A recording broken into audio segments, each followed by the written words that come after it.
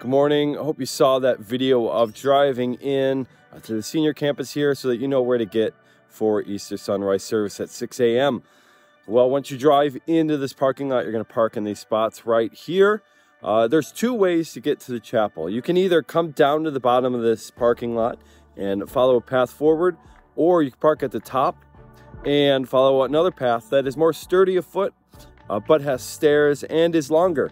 So make your choice when you're coming here. Hope to see you.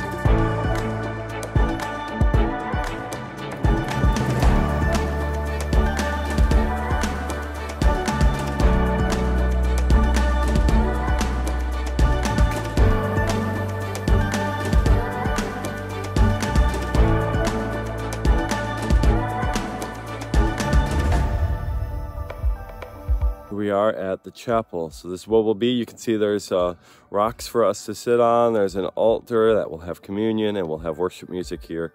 Uh, so I hope you join us. Uh, God bless. See you on Easter sunrise.